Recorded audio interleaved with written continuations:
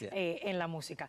Muchísimas gracias por habernos acompañado, pero bueno, tenemos un tercer momento de comentario. Perfecto. Vamos entonces a acercarnos a él luego de las noticias culturales. Ya está Leibir listo, de tarde en casa.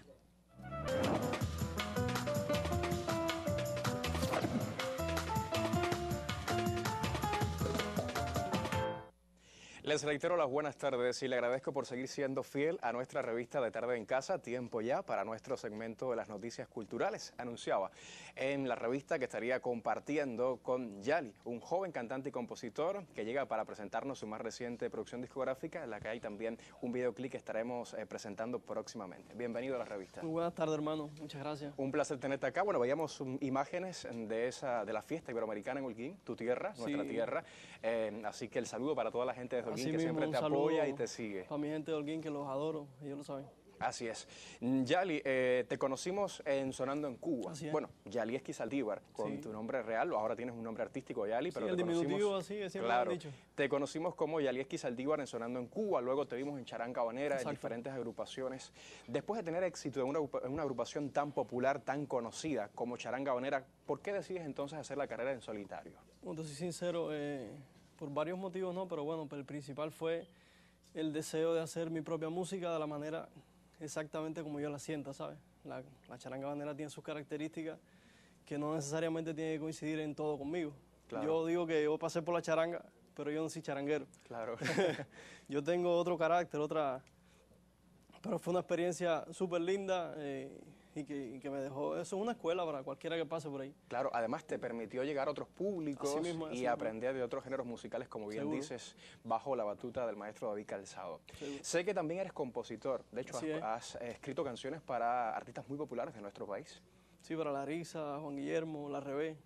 Bueno, charanga. Niurka Reyes la escuché cantando un tema tuyo. Ese, es el plato fuerte, esa es la profe, eso es lo mejor que... Te quiere muchísimo, cada vez que he escuchado sus palabras y han sido de elogios hacia tu carrera y tu talento. Eh, sé que estás estrenando próximamente un video, ¿cuándo saldrá ya en plataformas digitales? Eso sale el día 4 de noviembre, este, este 4 de noviembre va a salir por todas las plataformas digitales, es importante que, que me apoyen ahí, que se suscriban al canal yali.oficial de YouTube y el Instagram es el mismo. Así que eso, hoy en día todo funciona mediante las redes, entonces es bien importante que, la gente que nos quiera apoyar pues se suscriban a los canales y nos sigan. Así es. ¿El video de qué canción es exactamente? Es una canción, eh, una canción mía que bueno, todavía no ha salido, eh, no es cover, ¿sabes? Es una canción propia, se llama Pa' Brasil. Mucha gente me ha preguntado si me voy para Brasil. No, caballero, no me voy para Brasil. Sigues en Cuba, por supuesto. Pero Sigo aquí, pero se llama para Brasil, sí. Exacto. ¿Y qué género musical? Es un pop urbano, eso mezcla eh, lo, que es el, ritmo del reggaetón con, con bossa nova, con, con samba, esas cositas así. ¿Te gusta mezclar este tipo de géneros o te arriesgaste con esta canción solamente? Sí, me sonó así, me, la música ahí me lleva y, y ya que, que surja lo que, lo que tenga que surgir. Y esta canción decía que formará parte de una próxima producción discográfica que anunciaba también yo hace unos segundos. Sí, estoy haciendo un disco con un productor de, aquí de Cuba que reside ahora mismo en México, Criso, de un disco urbano. Yo estoy haciendo por otro lado otras cositas de salsa con un productor que de Holguín también, Victor Music. Y nada, por ahí vamos, por esa, por esa línea sobre lo urbano, lo comercial, pero siempre con canciones románticas, bonitas, el, que es lo que me pega. Uno, Uno tiene que hacer siempre lo que le pegue. Claro, lo que tenga que ver con tu personalidad. Eh, sé que actualmente los artistas, pues de forma comercial, pues van sacando poco a poco las canciones, los sencillos, hasta incluirlos luego en una producción discográfica. Esta es la idea, ¿verdad? Yo tengo planificado empezar a partir del día 4, empezar a sacar cada veintitantos días, cada un mes, un videoclip o, o un video promocional, ¿sabes? De una canción diferente. Bueno, el video todavía no lo tenemos, sale el día 4, pero cuando ya esté en plataformas digitales vamos a compartirlo también con el público televidente para que disfrute del talento de Yali. ¿El video lo grabaste en La Habana o en provincia? Sí, no, lo grabé aquí con el super Freddy Lund. Un excelente realizador, sí. El realizador de, para mí, te lo confieso, ¿verdad? Que, muchas veces soñé, estando en Holguín, y yo decía, yo tengo un día que hacer un video con Freddy, nada, hemos hecho una bonita amistad y se lo agradezco infinitamente.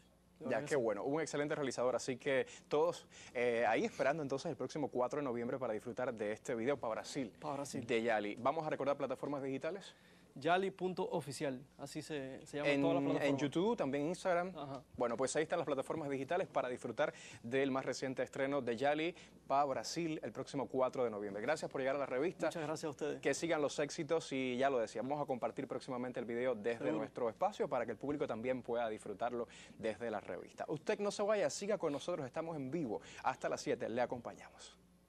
Los amigos que se comunican a través de plataformas digitales. Y yo quiero agradecerte No, porque me hayas acompañado. el agradecimiento es mío. Durante estas dos semanas el público ha estado feliz contigo. El Todo el mundo ha extrañado a. Raquel porque sabe Claro, que Raquel la queremos muchísimo. Lo dije desde el lunes. Yo agradecerte a ti, al colectivo eh, completo de Tarde en Casa y también, sobre todo, a ustedes los televidentes por Todo el mundo ha estado en casa. maravillado con tu trabajo, agradeciendo tu Gracias. presencia en la revista. y yo feliz. Ya lo decía el lunes de que era un placer trabajar contigo, un deseo cumplido, un sueño, así que te lo agradezco. Hasta la próxima aventura entonces. Que sea pronto también, claro. Cómo no, cómo no, cómo no, en otros espacios Por también. supuesto, por para que los amigos supuesto. puedan seguir disfrutando de Raquel que ya se incorpora el lunes. Así es. Gracias a todos entonces, buen fin de semana. Feliz tarde.